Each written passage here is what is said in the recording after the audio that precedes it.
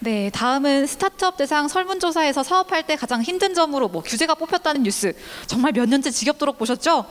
이번 정부에서 이 상황을 개선하고자 내놓은 방안 중 하나인 규제 샌드박스를 담당하고 계신 과기정통부 이진수 과장님을 모셨습니다. 제도 시행 6개월 차가 된 지금 규제 샌드박스는 얼마나 잘 자리 잡았을까요? 앞으로 실질적인 변화를 가져올 수 있을까요? 자, 궁금한 것들 투성인데요. 박수로 한번 청해 듣겠습니다.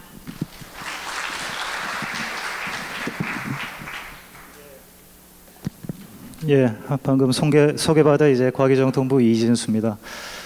어, 오늘 전체적인 뭐 패널이라든가 이제 발표 중에 공무원은 저 하나인 것 같아요. 그래서 벌써 이제 점심 드시고 좀 졸리실 타임이고 또 벌써 공무원이다 보니까 이제 지루할 거다 이런 예상도 하실 것 같은데요.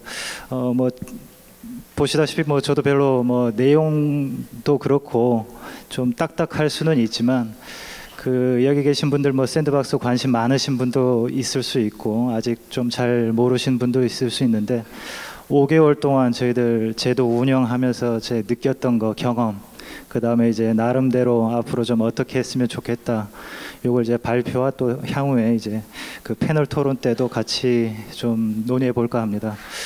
어 저도 지금 뭐 공무원 생활한 지 한 20년이 넘었는데 요즘 저 제가 이제 공무원 때문에 제일 스트레스 받는 사람 중에 하나입니다. 요 샌드박스 업무하면서 어, 다른 부처 상대를 많이 해야 되는데 공무원 때문에 이제 짜증 나고 야 이게 그 굉장히 좌절하고 요새 그러고 있습니다. 어, 구성은 뭐 이렇게 돼 있고요. 어, 본격적으로 시작을 하겠습니다. 그 여기 정보통신융합법이라고 돼 있는데 이제 다른 말로는 이제 ICT 특별법이라고도 합니다. 그래서 이게 작년 9월에 아주 우여곡절 끝에 국회 통과를 했습니다. 어, 좀 여담같이 말씀드리면 이게 작년 9월에 통과가 됐고 제가 작년 12월 초에 발령이 났습니다. 근데 그 제 전임자가 8월에 딴 데 갔거든요. 그래서 중간에 4개월이 공백이 제 자리가 공백이 있었고 마침 그 비어 있는 동안에 요 법이 통과됐는데요. 요 말씀을 드리는 이유가 그 정부 내에서도 요 샌드박스 법이 통과 이렇게 국회에서 빨리 진행 논의가 진행되면서 통과될 줄을 몰랐던 겁니다. 알았다면은 제 전임자를 딴 데 가는 거 붙잡았겠죠. 해서 그 굉장히 급작스럽게 이루어졌고 그 본격적으로 이제 제도 시행된 건올 1월 17일부터입니다. 어, 물론 이제 저희 부법만 통과된 건 아니고요. 이제 샌드박스 하면 이제 어, 사법이라고 보통 얘기합니다. 이제 ICT 융합과 관련된 거는 저희 부처, 그다음에 이제 전반적인 산업융합은 이제 산업부가 담당하고요. 그래서 이 두 부처는 올 1월부터 제일 먼저 시행이 됐고 그 나머지 이제 금융혁신 샌드박스가 이제 4월 그다음에 이제 중기부 그러니까 앞에 있는 세 가지는 약간 이제 프로젝트형 샌드박스라고 할 수 있고 지역 특구형 이제 중기부 샌드박스는 올 4월 17일인가요? 예, 그때부터 이렇게 네 개 부처가 어, 시작됐습니다. 잘 아시겠지만 뭐 positive 규제 시스템, negative 규제, 규제 시스템 많이들 얘기하죠. 또 오래된 숙원 사업이기도 했고. 그래서 뭐 전체적인 규제 샌드박스 취지 자체는 그 제가 판단하기는 그렇습니다. 우리나라 저도 이 제도를 운영하다 보니 그 네가티브 시스템 굉장히 얘기하기는 좋은데 우리나라 여건상에서 네가티브 시스템 굉장히 어려운 것 중에 하나였던 것 같아요. 그래서 실질적으로 네가티브 시스템 가기 전에 어, 이렇게 이제 중간 단계로서 이제 샌드박스를 한번 운영해 보자 어, 이런 취지였던 것 같습니다. 어, 잘못됐네요. 그래서 그 간단하게 그 어, 규제 샌드박스는 크게 이제 세 가지가 있습니다. 임시허가 어, 실정 특례 이제 신속 처리가 있는데요. 제일 위에 있는 신속 처리는 이거는 이제 사업하시려는 분들이 내 관련된 서비스나 기술이 이제 규제가 어떤 게 있는지 한번 확인을 좀 하고 싶 싶으신 경우에 이제 하는 거고요. 그래서 요것도 이제 저희 부 같은 경우에는 벌써 한 30건 이상이 어, 이미 접수가 됐고 처리가 됐고요. 어, 보통 이제 규제 샌드박스라고 하면 많이 아시는 게 이제 실증 특례하고 임시허가인데 어, 요것도 보면은 이제 제일 큰 차이점은 실증 특례인 경우에는 법에서 금지되어 있는 경우에도 가능합니다. 그래서 이런 것 때문에 일부 법률가들은 굉장히 이게 초법적인 제도다 이렇게 평가들을 하기도 합니다. 그 여기 관심 있는 분들 대상으로 이제 간단하게 저희들 그 진행 상황을 좀 말씀드리면요. 이제 신청하시려는 분들이 오시면 그 저희하고 같이 일하는 이제 샌드박스 지원 기관이 이제 정보통신산업진흥원 나이파라고 있습니다. 그래서 그쪽에 저희들이 전 어, 상담 센터를 운영하고 있습니다. 그래서 이제 그쪽에 문의를 하시면 전문적인 상담원과 이제 변호사들이 이제 초기에 이제 기술이라든가 법률 부분을 좀 자문을 하고 저희 쪽에 이제 과제를 접수하기 위한 이제 안건화 작업을 합니다. 그래서 이제 저희 부에 접, 정식으로 접수가 되면 저희가 요거를 이제 소감 부처에 보내고 30일 이내에 이제 부처에서 회신이 오고 그 이외 뭐 사전 검토위원회라든가 이제 본 심의위원회를 거쳐서 이제 최종 결정이 됩니다. 어, 지금까지 저희들이 어, 세번 심의위원회를 열었습니다. 해서 총 11건이 어, 지정이 됐는데요. 어, 간단간단하게 말씀드리겠습니다. 그 첫 번째 2월에 열렸던 거에서는 이제 네 가지가 이제 지정이 됐는데 뭐 이게 언론에 많이 나온 부분도 있습니다만은 어, 첫 번째 보시는 부분이 이제 휴이노라는 업체가 이제 손목시계형 심전도 기계를 했던 건데 이거 뭐 15년도에 이 기술을 뭐 제일 먼저 세계 최초로 개발했다고 하는데 우리나라 규제 상황 때문에 이 업체 대표분 얘기 들어보니까 중간에 미국 진출하시려고 뭐 좀 하시다가 미국에서도 안 돼서 작년에 들어오셨는데 마침 요 샌드박스 기회가 돼서 왔는데 근데 이거 어, 여담으로 말씀드리면 저희하고 사전에 접촉은 돼서 제일 먼저 접수하는 걸로 돼 있었는데 조금 접수는 늦었습니다. 그 이유가 휴인호 단독으로 들어와서는 안 되고 이게 그 같이 할 그 병원하고 들어와야 되는데 그 몇 군데 병원하고 이제 가- 같이 들어오는 작업이 굉장히 늦어져서 그리고 뭐 여기서 실명을 밝힐 수는 없습니다만 제일 유력했던 병원에서는 이게 원격 의료로 이제 오해를 받고 좀 그 지탄의 대상이 될 수도 있다고 해서 이제 거부하는 바람에 최종적으로 이제 고대 안암병원하고 들어와서 어, 했던 거고요. 그다음 두 번째 세 번째는 이제 카카오페이하고 이제 KT가 그 모바일 전자고지라는 어, 사업을 해서 됐습니다. 그래서 이것도 그 작년에 KT 카카오페이가 이제 그 이 사업을 본격적으로 할 수는 있었는데 중간에 이제 CI라는 거 변환 분- 부분이 이제 방통위에서 이제 유권 해석으로 행정 지도로 이제 금지를 하다 보니 저희 샌드박스에 들어왔던 상황이고요.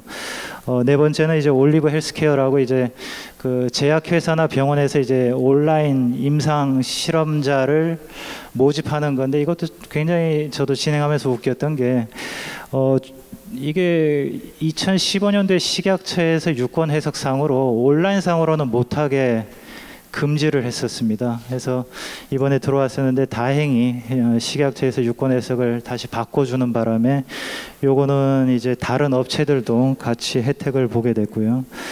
그다음 그 3월에 있었던 2차 심의회에서는 이렇게 네 건이 어, 첫 번째 그림은 이제 어, 브이리스 VR이라는 업체인데 이제 VR 트럭을 갖고 이제 그 이동형으로 이제 VR 체험을 할 수 있는 어, 서비스인데 이것도 그 문화부하고 국토부 규제가 있었는데요. 이것도 다행히 양 부처에서 좀 어, 협조를 해서 처리가 됐었고 어, 두 번째는 이제 블락스톤이라는 업체인데 이거는 구명조끼에 요- 요런 그 신호기를 하는 부분인데 이거는 마침 저희 부 그 규제 사항이었는데 이것도 좀 저희 부 내부적으로도 좀 그 설득이 쉽지는 않았는데 이것도 실증 특례로 됐었고요. 세 번째는 요거는 이제 전기차 충전 콘센트입니다. 이제 지금 기존 방식은 어, 지금 일반 그 주유하듯이 하는 건데 요거는 이제 우리 컨센트형으로 어, 바꾼 건데 어, 요것도 이제 산업부에도 유사한 과제가 들어왔었는데 그래서 요것도 처리가 됐고요.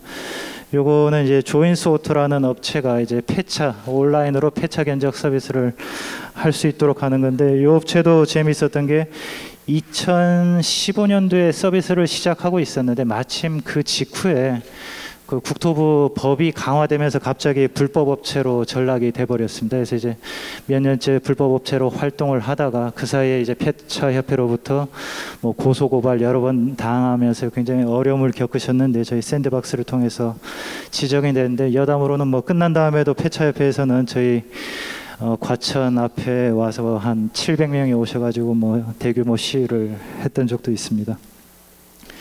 어, 지난번 5월에 있었던 3차 심의위원회에서는 이제 오토바이 어, 배달통을 이용한 광고, 그다음 이제 VR 테마파크에서 할 수 있는 어, 그, 예, 모션 시뮬레이터라는 회사고요. 요거는 이제 텔라움이라고 그 통신사 무인 기지국의 이제 누전 차단기, 뭐 자세한 내용은 여기서 어, 생략하도록 하겠습니다.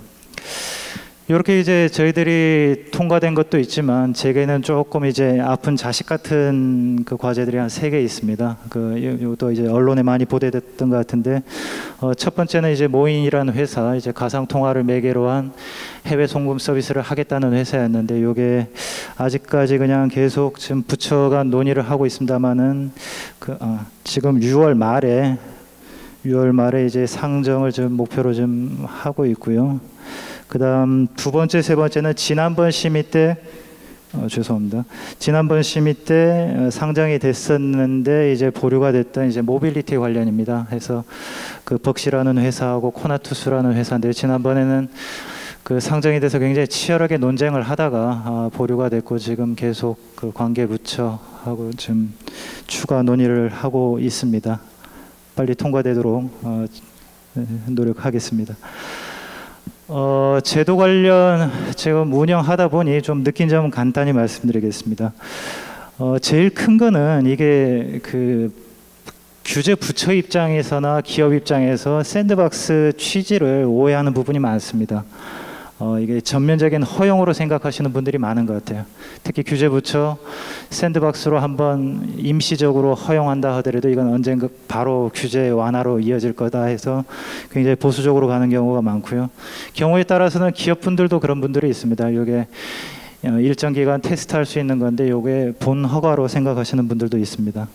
그다음 양극화된 시각도 분명히 존재합니다. 제가 보기엔 여기 계신 분들은 다 지금 저희들 하고 있는 게 요 거북이 속도로 생각하실 수 있지만 또 어, 이렇게 이제 너무 변화의 속도와 규제 푸는 게 너무 또 빠른 거 아니냐 이런 어, 생각을 갖고 있는 분들도 있습니다. 지금 아까 제가 모두의 공무원 때문에 제가 요새 힘들다고 했는데 협의를 하다 보면 굉장히 좀 쉽지 않습니다. 그 규제라는 게 처음에 만들어질 때 나름의 논리와 아, 이유가 있었는데 그거를 지금 샌드박스에서 여전히 규제 부처는 주장하고 어, 고집하는 경우들이 많습니다. 그다음 기업 차원에서는 이건 많지는 않습니다만 저희들도 좀 같이 도와줘야 되는데 그 아무래도 스타트업들이 많이 지원을 하다 보니 이게 그 저희들 그 소위 말해 과제 그 쓰는 것 자체가 좀 익숙치 않아서 그 본인들이 하려고 하는 서비스를 정확히 기술한다거나 관련된 규제 자체를 명확하게 쓰는 게 좀 부족한 부분도 있습니다. 어, 마지막으로 이제 뭐 시간이 얼마 없는데요. 이건 나중에 토론 시간에 좀 얘기했으면 하는데 그 우리 사회 전반적으로 공무원뿐만 아니라 어, 아까 앞서 발표자도 얘기하셨지만 국회 언론 그 전반적인 국가주의가 참 요새 제 화두 중에 하나입니다. 어, 이게 그뭐 민주주의가 우리 국민 수준에 맞게 발전하듯이 규제 수준 역시도 국민 네, 전반적으로 이제 그 바뀌어야 될 부분이 있지 않나 싶고요. 어, 죄송합니다. 그다음 앞으로 역대 정권이 모두 다 규제 개혁을 외쳤습니다만은 저는 이번 샌드박스를 통해서 지금까지는 어느 정도 좀 그 순항을 한다고는 보고 있습니다만은 앞으로 여기 그림이 보면 뭐 국민들이 체감할 수 있는 부분이라는 게 원격 의료, 그다음 승차 공유, 개인 정보, 요 가상 통화 이런 부분에 지금 대기하는 부분들도 있고 이런 부분에서 어느 정도 규제 완화가 이루어져야 국민들 입장에서 또 우리 여기 혁신 생태계에서 어느 정도 이제 체감하지 않을까 싶습니다. 그리고 제가 이제 과제 들어오면 매번 그 기업들 일대일로 한번 만나보는데 정말 요새 많이 놀랍니다. 우리 여기 계신 분들 혁신 생태계에서 근무하시는 분들 역량도 뛰어나시고 아이디어도 많고 참 도와드리고 싶은데 아무튼 어, 혁신은 민간으로부터 나오는 것 같고요. 정부는 그거 잘 도와줄 수 있도록 어, 그렇게 하겠습니다. 그 기존 제도 지금 샌드박스 6개월째입니다만은 샌드박스 말고도 그 최근에 좀 도입하려고 하는 규제 입증 책임제라는 것도 있습니다. 해서 어 요거는 샌드박스는 이제 서비스나 기술이 있으신 분이 신청하는 베이스고요. 요거는 그게 없더라도 해당 부처에 어, 니네가 갖고 있는 규제를 부처가 어, 입증을 해봐라 하는 거기 때문에 이런 것들을 적절하게 결합하시면 어느 정도 좀 나아지지 않을까 싶습니다. 어, 제 발표는 여기서 마치도록 하겠습니다. 고맙습니다.